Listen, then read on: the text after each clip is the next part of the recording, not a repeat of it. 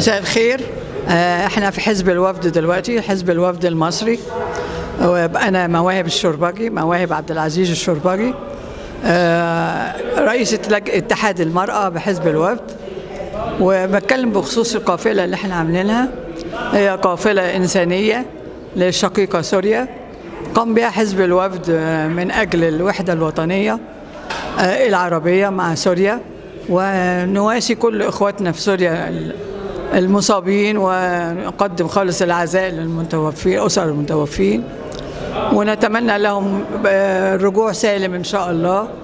وسوريا دي طبعا شقيقة من زمان.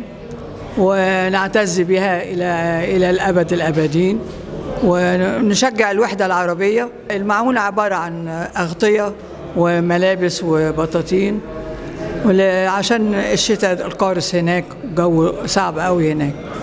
ونتمنى لهم الصحة والسعادة إن شاء الله. وحزب الوفد يقدم خالص التهنئة رمضان الكريم بإذن الله. السلام عليكم ورحمة الله.